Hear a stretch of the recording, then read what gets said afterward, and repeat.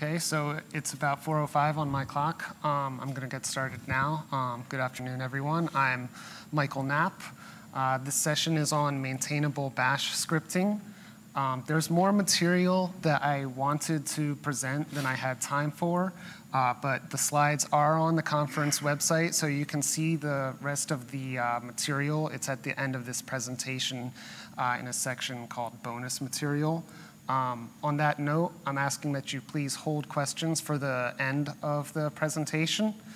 Um, also, this presentation is meant for people who already have intermediate level experience uh, writing bash scripts. Sorry. Oh, is this not? All right. Can you hear me now?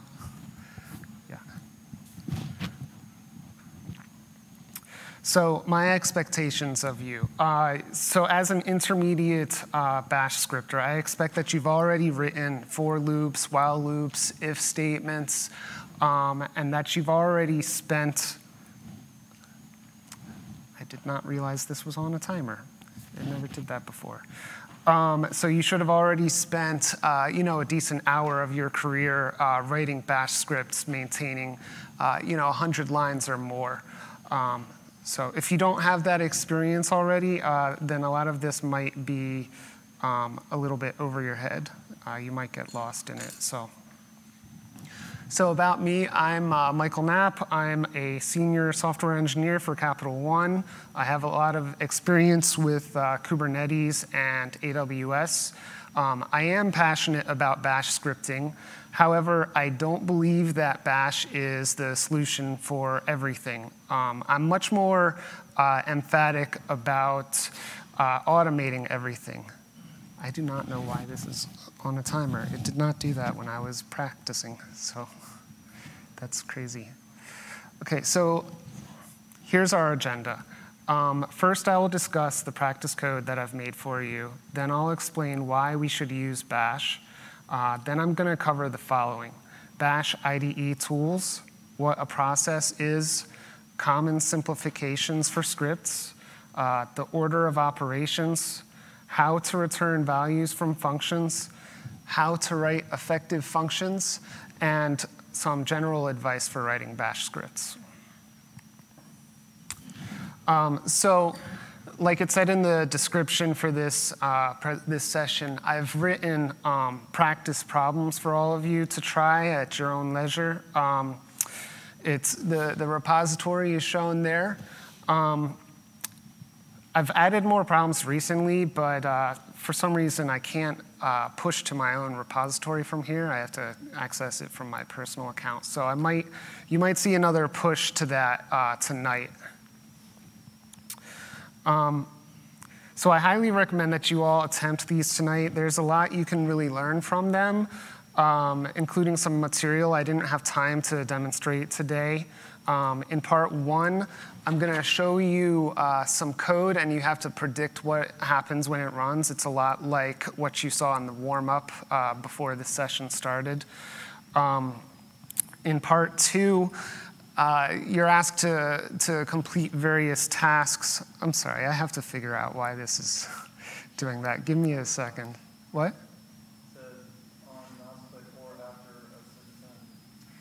Yeah. But it's like, all right, let me try this. All right.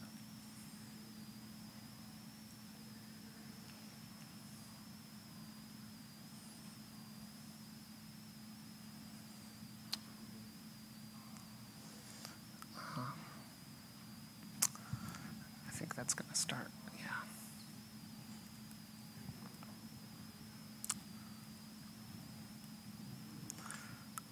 Yeah, okay, so part three uh, is where you're given, I, I have a, uh, I'm gonna give you a shell script that works. It's uh, poorly written though, and you can refactor it based on the lessons that I'm teaching in this uh, session. Of course, all of this is optional. There's no I'm not, you're, you're not really getting graded on this anyways. Um, it's just for your learning purposes. So, Mike, so the first question is uh, why should we use Bash in the first place? I mean, let's be frank, it's not the world's greatest programming language. Um, it is not intuitive, it's not strictly typed, and it's not easy to manage Bash scripts. However, I would argue that it's frequently the fastest way to get a job done. Um, because we don't need to manage dependencies, we can reuse CLI tools and we don't need to manage artifacts.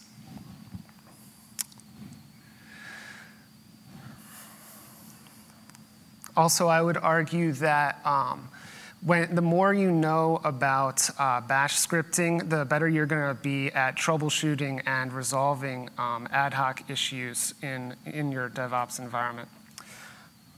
I'm sorry I'm uh, pausing here. For some reason, I can't scroll in my notes uh, on this presentation. I don't know why it's doing that.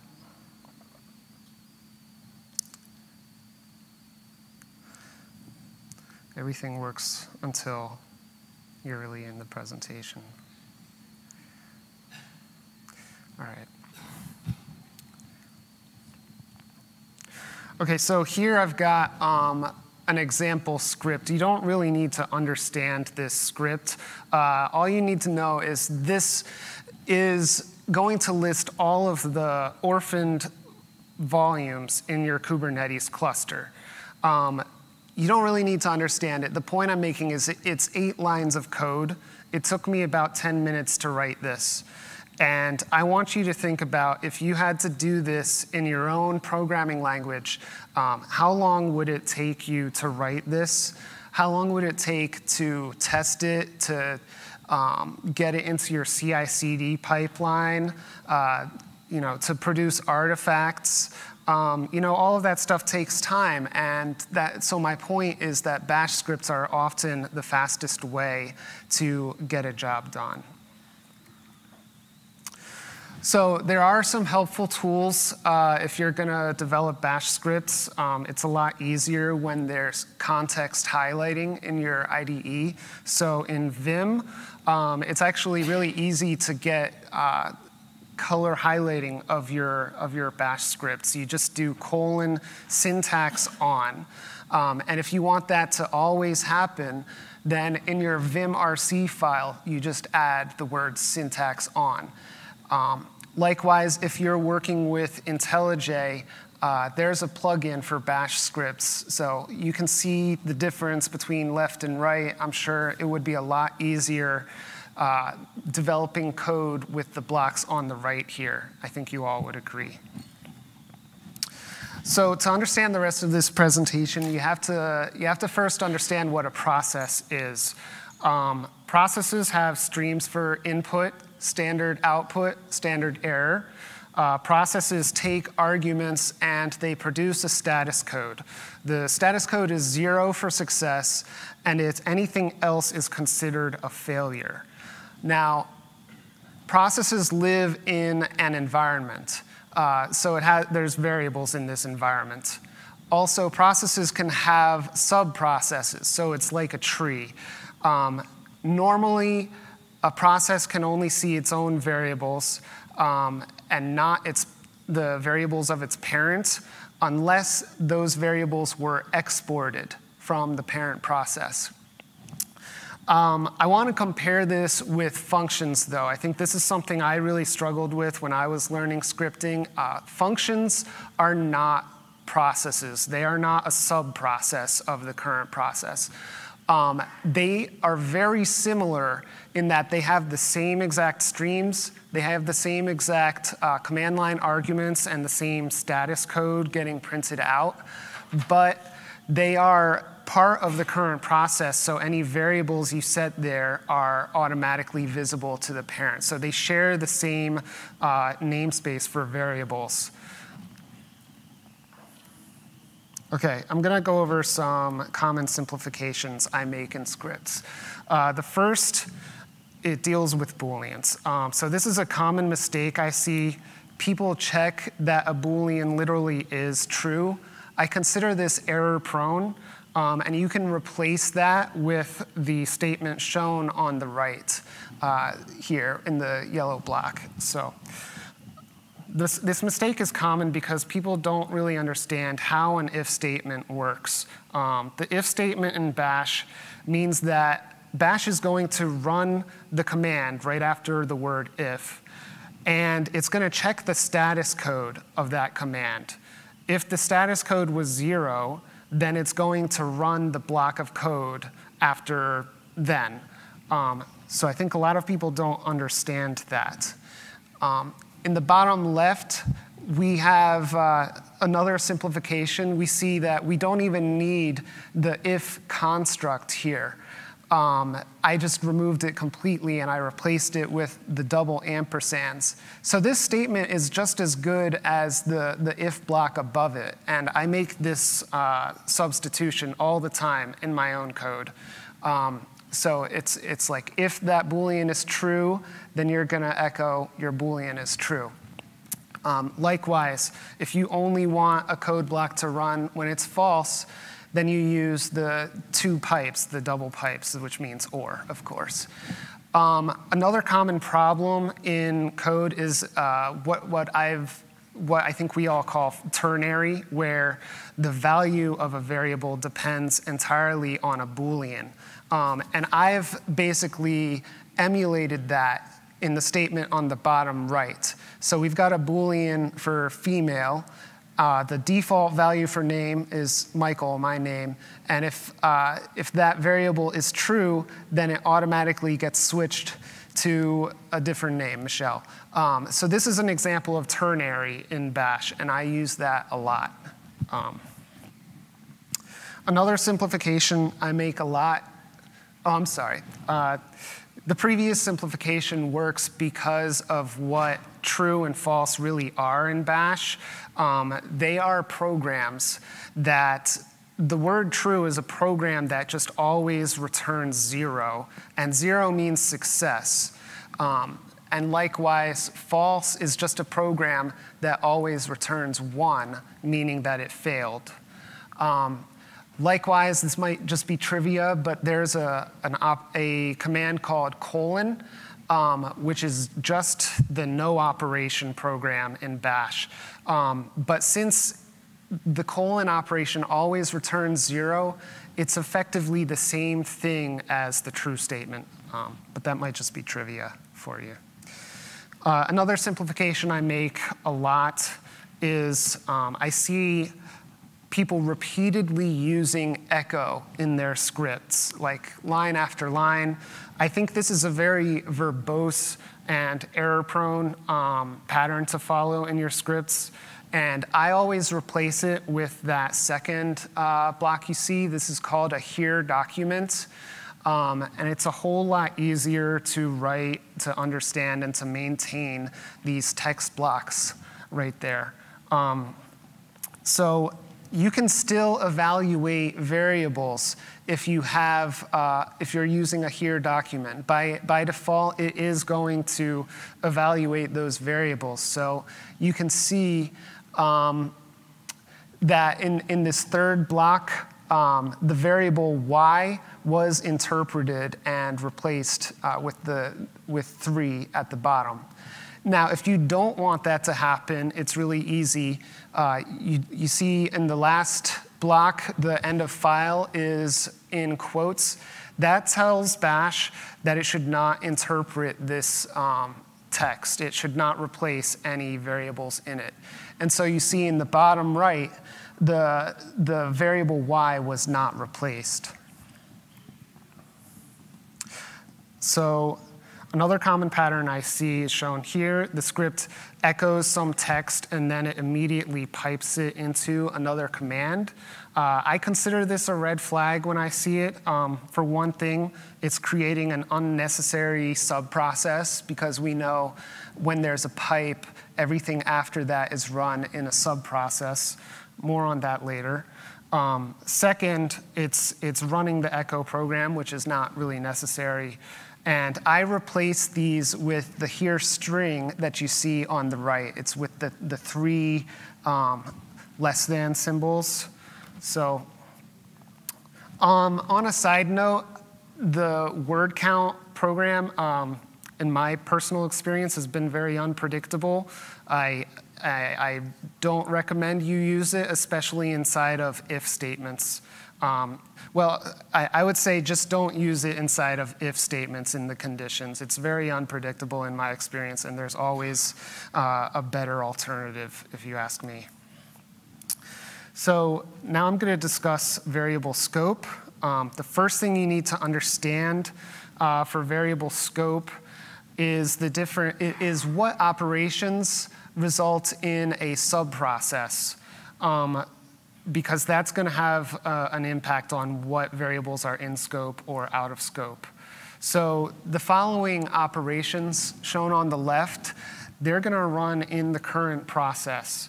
Um, that includes invoking a function, uh, sourcing a script, or running any commands inside of squirrel brackets like you see there. Um, now, most operations run in a subprocess. So um, in a child process. So running any generic program, uh, running another script without sourcing it here. Um, if you're gonna if you're gonna pipe the output of one function into another command, everything after the pipe is running in a subprocess. Um, also, if you're using command substitution, uh, a lot of people still use backticks today. Uh, it's the same exact thing as when you have the dollar and then the parentheses, um, but they, what I've read is the dollar parentheses is the recommended practice going forward. Um, but in both cases, those commands are going to run in a sub process. Um, so that is important to know because it impacts the variable scope. So this is the basic rule for uh, variable visibility. Naturally, uh, variables are only visible to the current process, but the exception is when a variable is exported. So we see here the child process can see the exported variable from its parent, but if the child process exports something, the parent does not see it. Um, and I'm going to compare this with function visi visibility. Uh, so variable visibility looks very different for functions when one function is invoked. It is part of the current process. Um, so it uses the same uh, variable namespace. By default, bash code sees all variables that are set by sub-functions or parent functions. Um, the exception is if a variable was declared local. Uh, so we see here that neither of these functions can see local variables declared by the other one. So uh, just note that this assumes you're not running that function as a subprocess by like running it after a pipe or running it inside of a command substitution like backticks or the, the dollar parens I'm going to get into the order of operations now. Um, variables will get expanded before arguments are chosen. So in this example, uh, the variable text is expanded to three arguments passed to the command grep.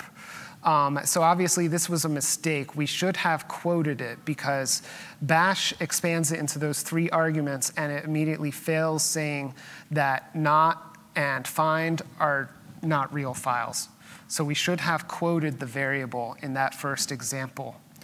Now in the second example, um, we've got an argument, this debug argument is quoted and in, in this case, in this specific, specific example, it's empty, it's not set. So Bash is actually going to pass this as a quoted argument to that subcommand, and it's going to um, be, literally be an empty argument, which is probably not what we wanted. So this is my example where you should not have quoted your variable in this case. Um, so the second rule, Bash will interpret special operators before it expands any parameters. So special operators are things like I've listed on the left here, a pipe, uh, you know, the, the bitwise, or, um, I'm sorry, the OR or the um, AND Boolean operators, um, you know, command substitution, stream forwarding, all of those get um, processed and interpreted by the bash, uh, you know, process before any arguments are expanded. So what that means is, let's say in this first example, I'm trying to filter the log uh, for the word grep, but it gets expanded into those four lines basically you see on the right. And uh, it's basically treating that pipe as if it's a file which is not what we wanted. So you can't have um, variables in bash that are uh, trying to, to use any of these special operators in them. Um, in the, the lower right i have another example. Uh, it's where the op, the operation is, um, it's trying to say if true and false. So normally this would not print. But in this case, bash uh, expands, so, so, so bash first looks at this and it doesn't see any operators. Then it replaces op with the two ampersands. And those are treated like an argument to the, the, the command true. True doesn't take any arguments, so it just ignores that, and this whole thing succeeds, and it prints both are true, which is not what we wanted. Um, so with binary operators, Bash treats binary operators as having equal precedence, and it will group them from left to right. So in this example, the user wanted Bash to print failed and return one, but only if the program actually failed. Um, unfortunately, Bash effectively groups the first two statements uh, as one. And it's evaluating this. It says true or something else. So that's true. And then it, it gets down here, says true and return one. So it's going to return one, which we all know that means the command failed. This is not what they prob- this is probably not what they wanted. Um, if something was successful, yeah. Um, so on the right, we see how we fix it. We just put these squirrel brackets around the left two uh, statements, and now it's only going to uh, check if things are succeeded, and then skip all of that second block, and we're good. It works. So, okay, returning values. Um, Bash has a return statement which um, is easily confused as being meant to return value. That is not right. Um, the purpose of the return statement is to say the status of the function, meaning it's succeeded or it failed. And the number has to be between 0 and 256. Um, I might have to double check that. But basically, zero means it succeeded, and anything else uh, means that it failed. So if you want to return data from a function, I'm recommending you, you follow this pattern uh, I show here. You're going to print the output to standard out of that square function. And then the function that calls it, the, the run function, is capturing that standard output. Um, so this is how we pass values between them. Um, I also wanted to note that if you are doing, if you need to do some simple integer math in Bash, you can. It's, it's uh, shown here with the double parentheses. Um, now, you can't do very, I, I, don't think you can do floating point math with that, but um, for a lot of use cases, it's good enough. Um, so this is an alternative method uh, to capturing values. Um, it's a whole lot easier for people to understand, but I would argue this is not maintainable. Um, in this example, the subfunction merely sets a variable. It's setting squared value here. Um, and the calling function, uh, since it's visible to this calling function, it's, it's able to refer to that. So this successfully prints out the squared value, 9. Um, however, if a developer, the, the, the, problem is this is very fragile. It's very fragile code. Um, if a developer renames the variable inside that function, then this run function is broken and nobody knows about it. Also, a separate function could easily override that value by accident. So I think this demonstrates um, a common principle in programming in general that you should limit the use of global variables. Uh, now I'm going to discuss um, principles of writing effective functions. So the first is the dry principle. Don't repeat yourself. You've probably all heard this. Um, but I avoid having, when I write a script, I avoid having any code outside of a function except that last line where I'm running the main function.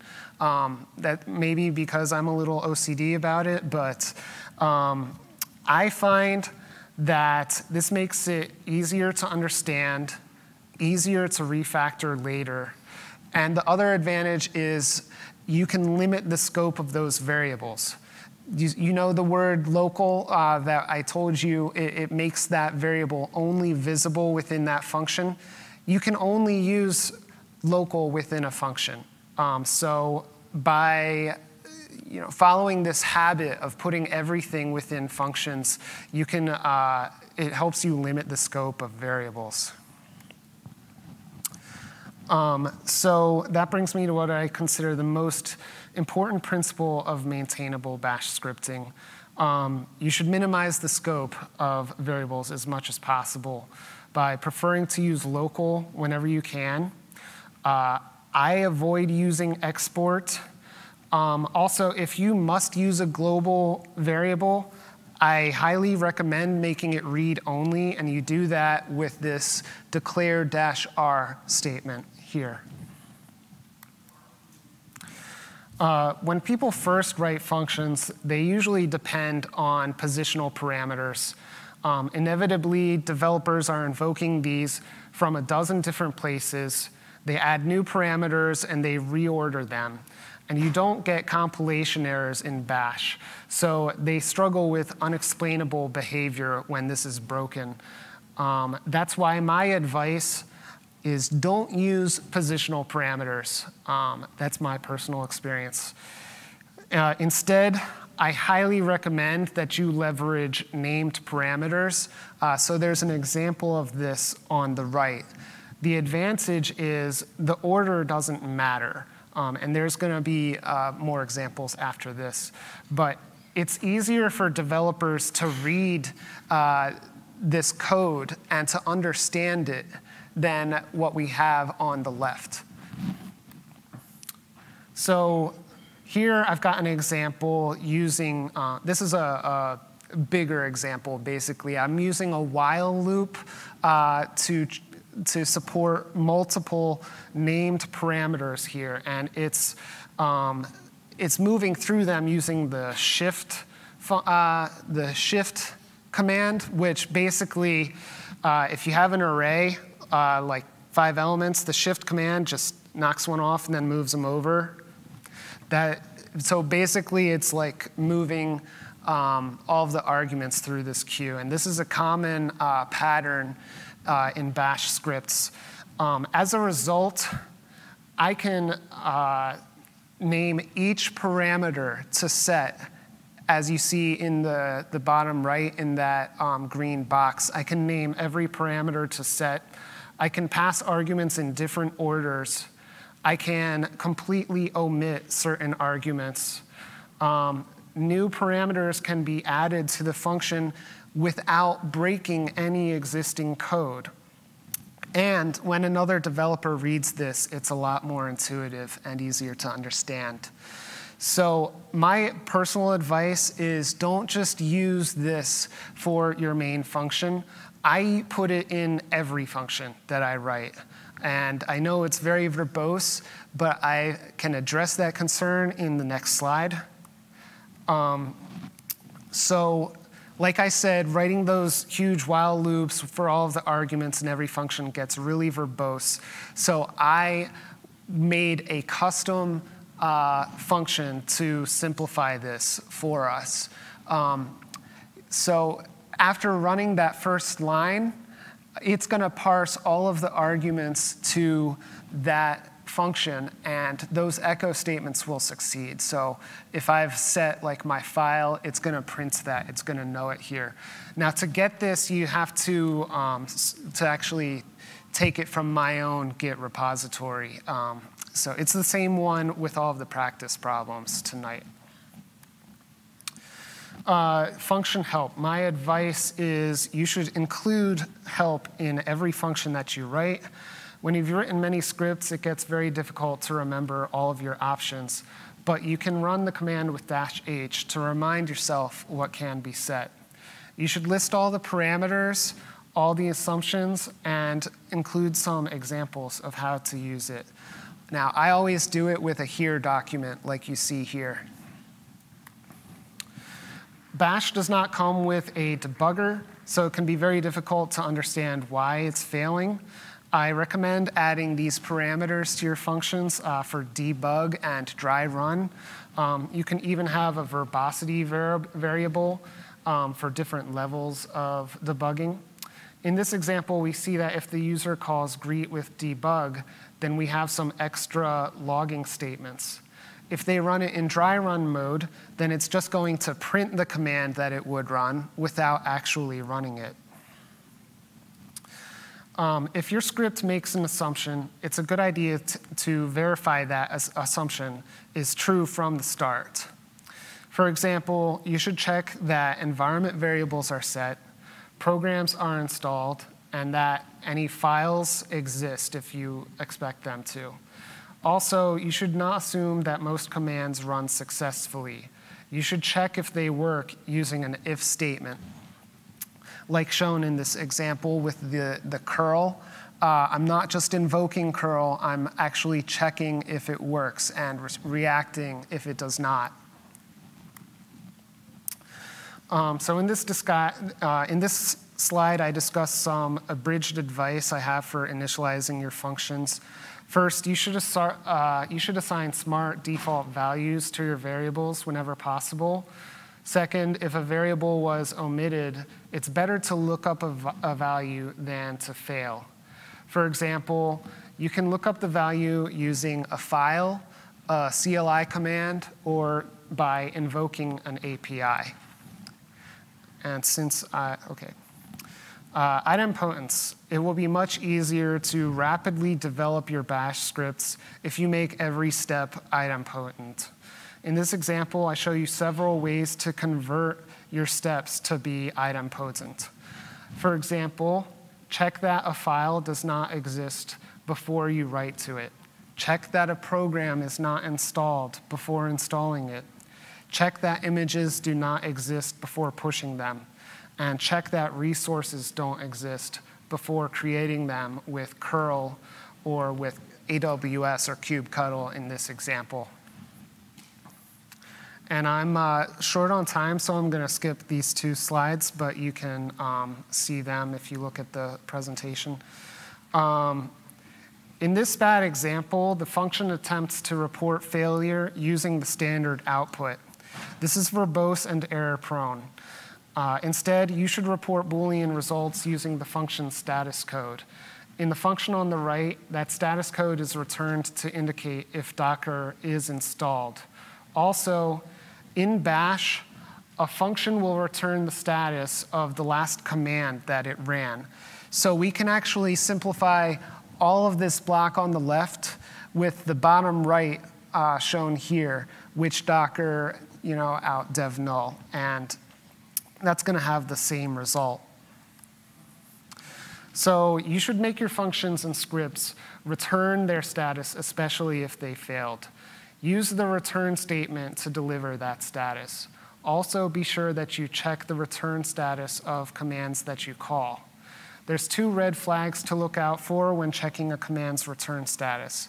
You should not check status using word count dash L. I find that it's very unpredictable and there's better methods to check that status. Um, also, Bash has this dollar question mark, uh, which is going to print the status of the last function it that it ran. Most of the time, it is not necessary to use it. I say just most of the time. Um, but usually when I see that in scripts, I think there's an, uh, a simpler way to check that. So it's usually a red flag. Returning multiple values. Um, you may eventually need to return multiple values from a single function. In that case, I recommend you write this JSON document out to the standard output, and then um, the calling function can extract any value that it needs using JQ, um, the JSON query tool. Uh, the advantage here is the, the order of your output doesn't matter. Um, you're not going to clobber any variables that are already set. And um, yeah, new fields can be added or removed from this JSON without breaking existing code. So now I'm getting into uh, some general advice. Um, I'm over time, but I think I can wrap it up in just a few minutes. So should I put code in bash RC or on the path? Um, oftentimes, people just put aliases and functions into their bash RC file, or they put them in a script that the bash RC sources. I don't recommend doing this updates are not automatically detected, so you're forced to constantly be sourcing your updates. Instead, you should prefer to put your scripts onto the path. Your updates are effective immediately if you do that, and it's much easier to reuse the, that code in other functions when you do that. Um, some more general advice, keep learning uh, bash commands. Uh, oftentimes, people write long scripts only to discover that a command parameter already exists for what they're trying to do. Knowing the parameters of a function can spare you from wasting a lot of time. If you're not familiar with awk, sed, jq, tr for translate, uh, or cut, I highly recommend that you learn them, at least the basics, because I use them in a lot of my scripts and they really come in handy. Um, next, I want you to be in the habit of thinking about automation. Whenever you see a new API or a new CLI, you should think to yourself, this is an opportunity to automate more of what you do. And I'm hoping that you will uh, study the examples I have in this uh, maintainable bash uh, repository. I think there's a lot you can learn from them, and it includes some things I didn't have time to demonstrate today. Last slide. Um, the best advice I can give you is try and automate as much as you can. Um, like I said at the beginning, I'm not uh, crazy about Bash. I'm really crazy about automating things as much as you can. Oftentimes, people think you're only going to do something once, and they wind up doing it a dozen times. So, writing a script also provides documentation and reuse for your peers. So I'm recommending that you lean heavily in favor of uh, automating everything if you can. So, so that's it. Are there any uh, questions? Yeah. Not, I haven't put them on the repository. They're on the conference website. I, I can put them in the repository. Sure. Oh, yeah, sure.